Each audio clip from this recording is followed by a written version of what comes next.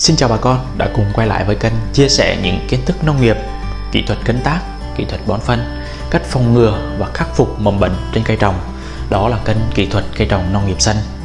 Trong thời gian qua được sự quan tâm của nhiều bà con về những video mà chúng tôi đi vườn thực tế và có một số bà con đặt ra một số vấn đề về dinh dưỡng cây trồng như là axit amin nó làm trái mình nó mỏng vỏ hả anh đây là một câu hỏi của anh à, Văn Thanh và một số câu hỏi liên quan đến vấn đề mà ra hoa đậu trái. Ví dụ như là axit amin, nó làm mình tăng khả năng đậu trái hay là mình phun vào thời kỳ à, ra hoa được hay không? Một số vấn đề như là axit amin, dạng bột hay dạng nước và axit amin, nó có công dụng gì? Thì hôm nay mình sẽ đi sâu vào để phân tích cho bà con xem. Ví dụ như là axit amin là gì và cấu trúc thành phần của axit amin là như thế nào? Mình sẽ đi sâu vào để phân tích những vai trò của axit amin đối với từng giai đoạn phát triển của cây. Và khi đó thì à, sự kết hợp của axit amin với các dòng phân bón, thuốc trừ sâu, thuốc bệnh như thế nào cho nó hợp lý và nó tăng hiệu quả. Và cuối cùng thì mình sẽ đưa ra những dòng mà chứa các sản phẩm axit amin tốt cho cây trồng mà đang à, phân phối trên thị trường và đầu tiên, chúng tôi xin phép đưa ra những khái niệm và nguồn gốc của axit amin. Thì phần này, chúng tôi xin phép được lướt nhanh qua và đi sâu vào để phân tích công dụng vai trò của axit amin đối với từng giai đoạn phát triển của cây trồng thì axit amin, hay còn gọi là amino acid, thì hai cái tên này là một nha bà con. Thì nó là một hợp chất hữu cơ sinh học được cấu tạo từ nhóm axit và nhóm amin. Thì amin là nhóm NH2 còn axit là axit carboxylic. Ngoài ra thì nó được gắn kết bởi một nhóm mật bên gọi là nhóm R. Và khi nhóm R này nó sẽ thay đổi và khi thay đổi thì nó sẽ tạo ra một axit amin riêng biệt. Như vậy thì khi mà R thay đổi này thì nó tạo ra tầm 500 loại axit amin. Nói một cách gần gũi và dễ hiểu hơn cho bà con á, thì axit amin là nó là tiền đề để cấu thành những nông sản của bà con.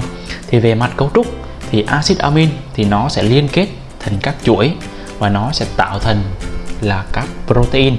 Mà các protein này á, thì nó là tiền đề để cấu thành một tế bào sống. Và tế bào sống đó thì nó sẽ tạo thành những cái rễ thân cành lá hoa và những trái của bà con. Với những điều đó thì bà con mình biết được tầm quan trọng của axit amin đối với cây trồng là như thế nào.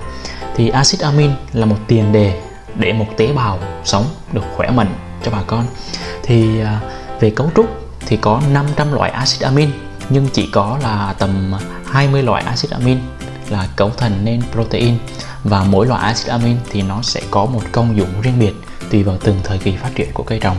Chúng ta sẽ đi qua phần thứ hai, đó là phân tích vai trò của axit amin đối với cây trồng. Thì à, thứ nhất là mình sẽ đi sâu vào để phân tích là trong cái thời kỳ sinh trưởng và phát triển của cây trồng thì axit amin nó có công dụng gì? Đầu tiên sẽ giúp kích thích những chồi mới và dưỡng chồi. Đối với những vườn mà bà con trồng mới hoặc là những cây mà thời kỳ kiến thiết ban đầu thì nó sẽ giúp mà mọc những cành mà thứ cấp và giúp cây được phát triển nhanh chóng. Thứ hai là tăng khả năng quang hợp và hấp thu dinh dưỡng, thì bà con cũng biết đến là axit amin là một thành phần để cấu tạo nên protein, thì nó sẽ thúc đẩy quá trình mà quang hợp. Thứ ba là axit amin giúp giải độc tố và hạn chế đi các tác hại của các thuốc bảo vệ thực vật cũng như là các chất vô cơ, giúp trẻ hóa tế bào và tăng khả năng phục hồi được cây suy, cây bệnh. Tại vì khi trẻ hóa tế bào thì khả năng mà cây mình hấp thu dinh dưỡng và cây mình phục hồi được nhanh chóng hơn tiếp theo nữa là axit amin sẽ giúp kích thích và nảy mầm phát triển hệ rễ cho bà con. Thì à, nó sẽ giúp kích thích những rễ tơ và tạo ra những lông hút để cây mình nó dễ dàng hút dinh dưỡng từ đất để mà nuôi cây. Ngoài ra thì axit amin còn là một thành phần để hạn chế được nhiều côn trùng và nấm khuẩn gây hại hạn chế được uh, tình trạng mà côn trùng nó sinh sôi nó phát tán nảy nở trên những mảnh vườn của bà con. Và một điều nữa là đó là axit amin sẽ giúp cây trồng mình nó sẽ tăng sức đề kháng và tăng khả năng chống chịu trước những thời tiết bất lợi, ví dụ như là nắng hạn, ngập úng và mưa dầm kéo dài trên những mảnh vườn cây trồng của bà con. Trên đây là những vai trò của axit amin trong thời kỳ sinh trưởng và phát triển của cây trồng. Còn với thời kỳ mà sự ra hoa, đậu trái của axit amin nó sẽ như thế nào thì chúng ta đi qua phần tiếp theo. Ở đầu video, chúng tôi có nhắc đến là có 20 loại axit amin tổng hợp nên protein thì mỗi loại axit amin nó sẽ có một chức năng riêng biệt, tùy vào từng thời kỳ phát triển của cây. Ví dụ, chức năng tăng cường sinh sản, thụ phấn và đậu trái chúng ta sẽ nhắc đến axit amin tên là proline tiếp theo, đó là chức năng kích thích nảy mầm hoa và kéo dài sự sống của hạt phấn. Chúng ta sẽ nhắc đến những axit amin tên là lysine, glutamic hoặc là methionine. Thì axit amin nó sẽ giúp quá trình mà phân hóa mầm hoa của cây được dễ dàng hơn, giúp hoa ra tươi, mập, chắc, khỏe và hoa mình nó đầy đủ dinh dưỡng. Như vậy sẽ hỗ trợ quá trình mà nó đậu trái sẽ dễ dàng hơn cho bà con. Tiếp theo nữa đó là axit amin sẽ hỗ trợ trái của bà con chín mọng và có vị rất là ngon, vị ngon hơn. Chúng ta nhắc đến đó là axit amin tên là histidine ngoài ra thì axit amin còn có một công dụng, đó là cải thiện năng suất và chất lượng trái. Thì chúng ta nhắc đến đó là axit amin tên là alanin leucin hoặc là valin thì nó sẽ có công dụng là giúp cái trái mình nó sẽ lên màu, mọng nước, ăn có vị ngọt, vị thân, tăng cái chất lượng và mẫu mã của nông sản cho bà con. Ngoài ra, giúp nông sản mình tươi lâu hơn và giữ được mùi vị đặc trưng của từng loại nông sản cho bà con. Ngoài ra axit amin có vai trò là tăng khả năng hấp thu phân bón và tăng hiệu quả của thuốc bảo vệ thực vật. Thì khi có axit amin thì thuốc bảo vệ thực vật giúp bám dính và thẩm thấu được nhanh hơn vào cây trồng ít bị rửa trôi. Thì các phân tử của axit amin sẽ kéo theo những phân tử của thuốc bảo vệ thực vật, dễ dàng thấm sâu vào các tầng lớp biểu bì của cây trồng như vậy sẽ ít bị tình trạng mà bị rửa trôi hoặc là bay hơi khi gặp mà thời tiết mà nắng nóng hoặc là mưa dầm hoặc là khi phun xong, bà con mình gặp gió. Thứ hai, axit amin có vai trò là cân bằng nồng độ pH của dịch phun, có nghĩa là khi bà con mình phun những dòng sản phẩm, sẽ có những dòng có tính axit hoặc tính kiềm rất là cao. Thì axit amin có nhiệm vụ là nó điều hòa về ngưỡng trung tính. Thì như vậy thì cái cây trồng mình nó sẽ dễ dàng hấp thu, tránh tình trạng cái cây trồng mình bị ngộ độc hoặc là bị nóng cây, dẫn đến tình trạng là cây bị stress kéo dài. Về mặt cấu trúc, ở đầu video chúng tôi có nhắc đến là axit amin là những chuỗi liên kết ngắn để cấu thành các protein như vậy các chuỗi liên kết ngắn này có thể dễ dàng liên kết với các chất trung vi lượng cần thiết như là sắt, kẽm hoặc là mangan. Như vậy thì axit amin giúp là tăng khả năng hấp thu các trung vi lượng trong các dòng phân bón và dinh dưỡng cây trồng ở trên thị trường khi mà bà con mình phun chung hoặc là nó sẽ giúp rút ngắn quá trình vận chuyển dinh dưỡng ở trong cây trồng, từ rễ cây hoặc lá cây đến mà các bộ phận khác của cây trồng một cách nhanh chóng và đầy đủ hơn. Trên đây là một số khái quát về axit amin cũng như là vai trò của axit amin đối với từng giai đoạn phát triển của cây trồng. Thì nắm bắt được những vai trò thiết yếu đó, công ty nông nghiệp xanh đã cho ra đời hai dòng sản phẩm chứa axit amin. Thứ nhất, đó là dòng axit amin and axit fulvic thứ hai, đó là dòng amino sữa thì uh, trong video mình có nhắc đến đó là axit amin. Thường có một tên gọi khác đó là amino acid. Thì mình đã phối trộn công thức là axit amin kết hợp với các trung vi lượng vào dòng sản phẩm này. Thì nó là một dinh dưỡng thiết yếu cho cây trồng. Còn hôm nay mình à, xin giới thiệu cho bà con là ba bộ sản phẩm tùy thuộc vào từng giai đoạn phát triển của cây trồng để mình có sự kết hợp axit amin cho nó được hiệu quả hơn. Thứ nhất là bổ dưỡng cây lá đây là bổ dưỡng cây lá bà con mình có thể kết hợp với các dòng phân bón lá. Thứ hai là bổ dưỡng hoa. Thứ ba là bổ dưỡng trái. Về thứ nhất là cái bổ dưỡng cây lá mình sẽ kết hợp cái dòng axit amin với dòng sản phẩm là cái dòng phân bón lá. Thì với cái dòng axit amin and axit fulvic thì à, mình xin nói sơ qua cho bà con là về cái dòng axit fulvic này á. Với dòng humic bà con hay xài á, thì cái axit fulvic này thì nó là một phân tử bậc cao hơn so với cái axit humic thì bình thường bà con hay xài cái humic là nó có màu đen nhưng cái phân tử bậc cao này á, thì nó chuyển sang cái màu cánh gián. Thì ngoài ra nó cung cấp thêm một cái hàm lượng đó là chain chilat chain element kết hợp với những cái nguồn là đạm hữu cơ cần thiết và dinh dưỡng thiết yếu cho cây trồng. À, bà con mình có thể kết hợp vào thời kỳ mà dưỡng lá thì mình kết hợp công thức phân bón lá là NPK đạm 35 10 năm với một hàm lượng đạm cao á, thì giúp cái lá mình nó sẽ xanh bóng và mướt lá giúp cái quá trình mà kích thích và đâm chồi nhanh. Thì đối với thời kỳ sinh trưởng và phát triển thì mình sẽ dùng cái bộ này là cái bộ dưỡng lá. Ngoài ra thì bà con mình có thể kết hợp thêm cái dòng combi là gồm các trung vi lượng cần thiết. So với cái dòng mà phân bón lá đa lượng á, thì cái TE này là cái trung vi lượng này bà con. Nhưng mà một cái thành phần rất là ít thôi thì bà con mình nên bổ sung thêm cái hàm lượng trung vi lượng thiết yếu là cái gói combi này. Gói này chỉ 35.000 thôi 35.000 cho một phi.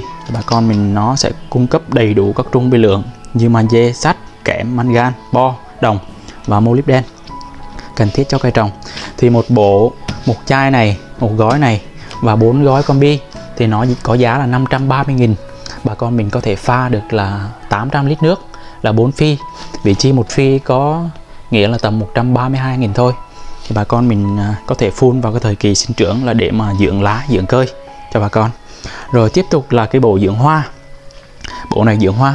Dưỡng hoa thì mình à, cho xài cái dòng axit amin, kết hợp với đó là dòng canxi bo cái này thì vừa kết hợp mình dưỡng hoa trong cái thời kỳ mà ra, giúp cái hoa mình nó sẽ tươi, nó chắc và tăng khả năng đổ trái. Đây, giúp tăng cường này tăng cường cái sức sống của hạt phấn, tăng khả năng đậu trái. Giúp cái trái mình nó đỡ tình trạng mình nứt trái và cái trái mình nó sẽ bóng đẹp hơn.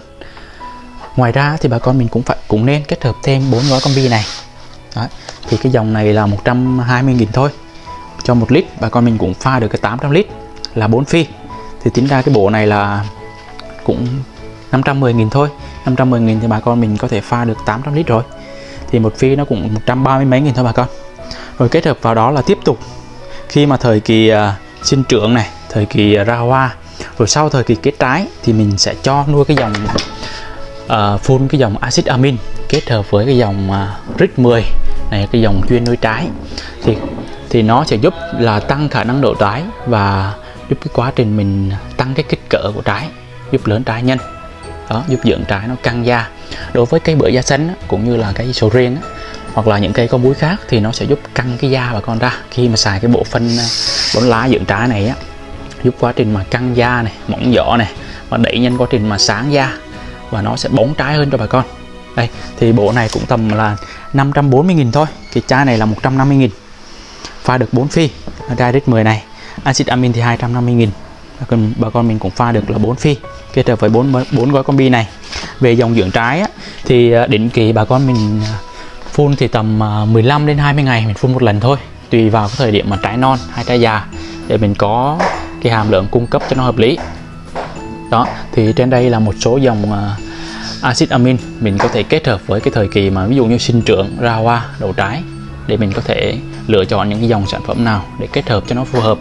Thì uh, nếu bà con thấy những cái dòng sản phẩm mà bên nông nghiệp xanh này giới thiệu hay và cái chi phí nó hợp lý cho bà con thì bà con mình có thể liên hệ vào cái số điện thoại ở cái góc phải màn hình. Mình sẽ tư vấn tận tình cho bà con để mình sẽ tư vấn những dòng sản phẩm nào để phù hợp với cây trồng của bà con. Thì à, những dòng sản phẩm của nông nghiệp xanh đó, thì xài cho được tất cả các loài cây trồng nha bà con. Ví dụ như cây rau màu vẫn xài được những dòng này. Hiện tại mình đã cho xài cây rau màu ví dụ như axit amin này bộ này là bộ dưỡng lá được này. Cây rau màu ví dụ cây cải á, thì bà con xài rất là tốt này. Đó kết hợp vào đó là những dòng như à, dưỡng trái như là cam quýt, bưởi, sầu riêng lại xài những cái dòng rít 10 này. Thì được à, đón nhận rất, phản hồi rất là nhiều dấu hiệu tích cực của bà con nông dân. Thì à, mang lại những cái niềm động lực và cái khích lệ cho bên đội ngũ công ty nông nghiệp xanh là luôn nghiên cứu để mà làm ra cho bà con những dòng sản phẩm nào uy tín và chất lượng hơn. Thì với ba bộ sản phẩm này thì bà con mình có thể kết hợp với, đó là bộ đôi tinh dầu. Đây vì mình giới thiệu nhiều với bà con rồi thì một dòng là ngừa nấm một dòng ngừa côn trùng. Thứ nhất là mình có thể kết hợp chung á. Thứ nhất để là tiết kiệm cái chi phí cho bà con trong những lần đi phun á, đỡ mất công mình phải phun dinh dưỡng một lần cũng như là thuốc sâu thuốc bệnh một lần. Như vậy thì nó là tốn rất là nhiều công cũng như là chi phí mình phun thuốc rất là nhiều. Và thứ hai nữa là dòng này là một dòng sinh học hoàn toàn. Thì bà con mình nó thứ nhất là nó không ảnh hưởng đến sức khỏe con người cũng như là môi trường và hệ sinh thái xung quanh bà con phù hợp với các vườn làm theo cái chuẩn mà như là chuẩn sinh học như là USDA này, Việt Gap, Global Gap hoặc là chứng nhận là Eurofin nó đều phù hợp nha bà con. Thì bà con mình có thể kết hợp xài thêm. Một dòng là ngừa nấm nấm khuẩn ghẻ loét thán thư thối hoa thối trái. Và dòng thứ hai là ngừa côn trùng như là bọ xít muỗi, bọ trĩ, à, uh, nhìn đỏ, rầy xanh, sâu vảy bùa. Đây thì bà con mình à, nên phun vào thời kỳ mà khi mà lú mỗi cây đọt hoặc là thời kỳ mà côn trùng mà nó phát tán nhiều á, để cho nó hợp lý mình cân chỉnh cái liều lượng cho nó phù hợp. Rồi trên đây là mình xin à, chia sẻ cho bà con cái axit amin cũng như là vai trò của axit amin đối với từng thời kỳ phát triển của cây trồng.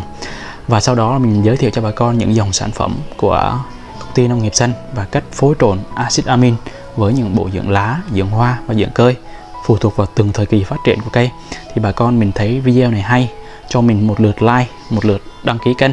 Và có những thắc mắc gì, có những đóng góp gì, thì xin vui lòng liên hệ vào số điện thoại ở góc phải màn hình. Thì mình xin nhận những góp ý và những cái lời phản hồi từ bà con. Rồi, xin chào bà con và hẹn gặp lại bà con trong những video sau.